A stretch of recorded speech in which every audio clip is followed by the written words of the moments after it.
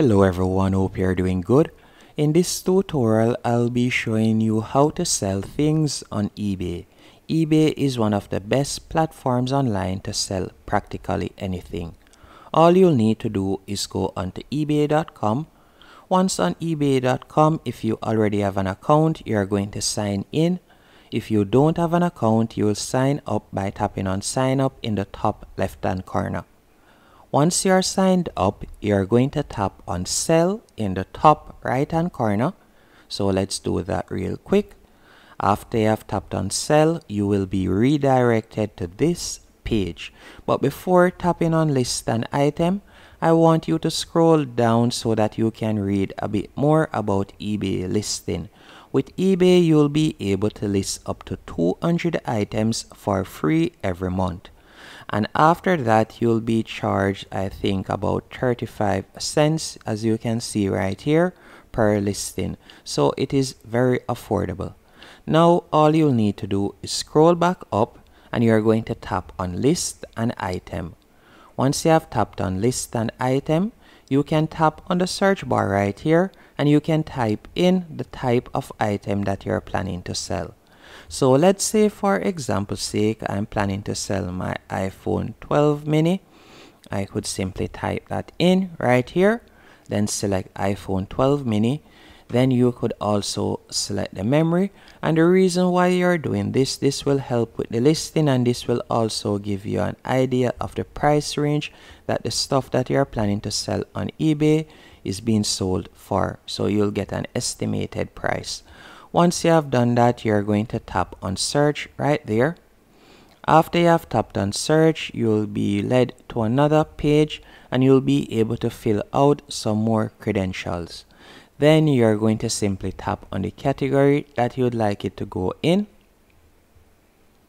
And you can see right here related listing from sellers. I'll see an example right there. So you can see if you see a match, I could simply tap on it or I could tap on continue without match. But I'm going to assume that you see a match, so I'll simply tap on it right there. Then you can see you have selected another seller's listing to help draft your items. Photos from the original seller's listing can't be reused. So I don't want to reuse that and you'll see select the condition of your item and I'll select used. Then I'm going to tap on continue to listing. Once you have tapped on continue to listing, you will be led to this dashboard.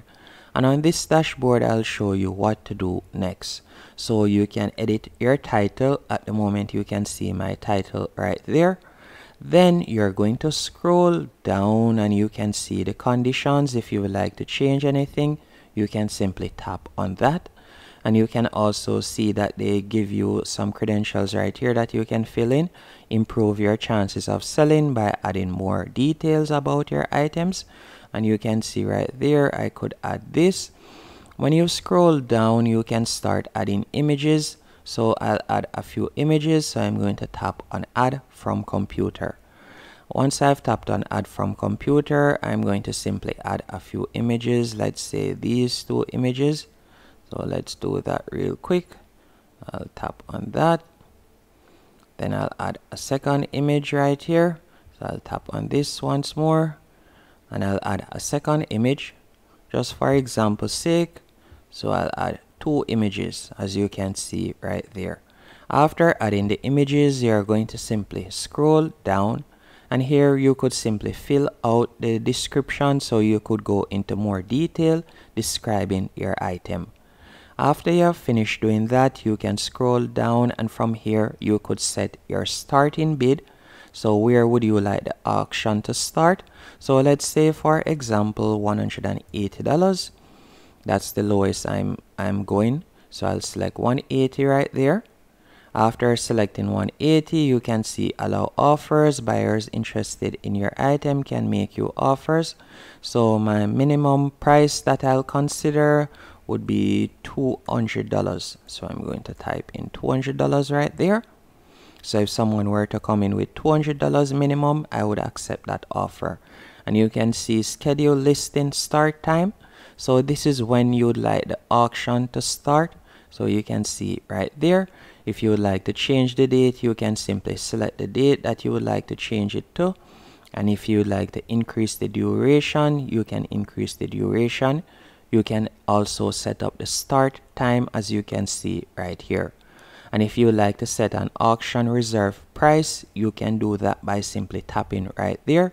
But there's a fee which varies based on the amount entered.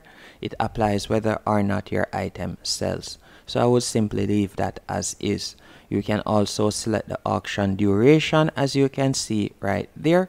7 to 10 days tends to sell better then you'll scroll down and if you'd like to set a buy it now price means that if someone comes onto my listing and sees the iPhone mini and wants to purchase it right away they'll be able to do that.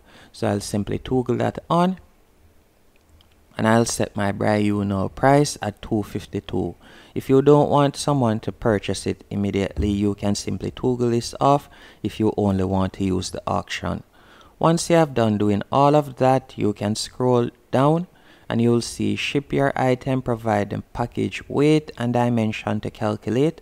And to do this you can simply go onto Google search and you can search for the weight of your item or you can measure it on a scale if you do.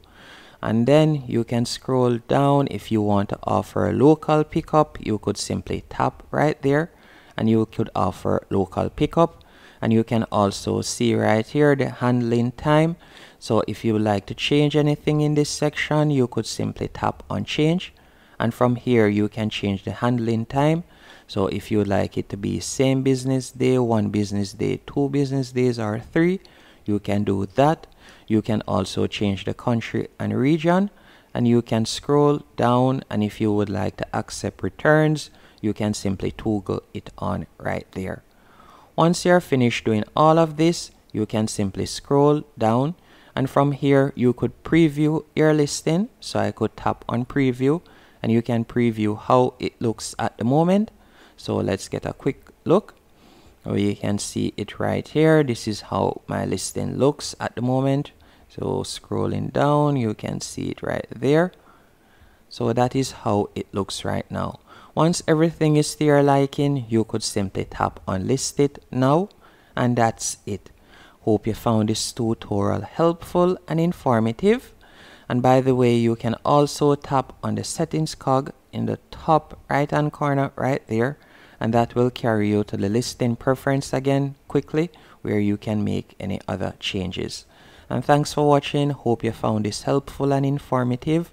If you did, be sure to hit the like button and subscribe.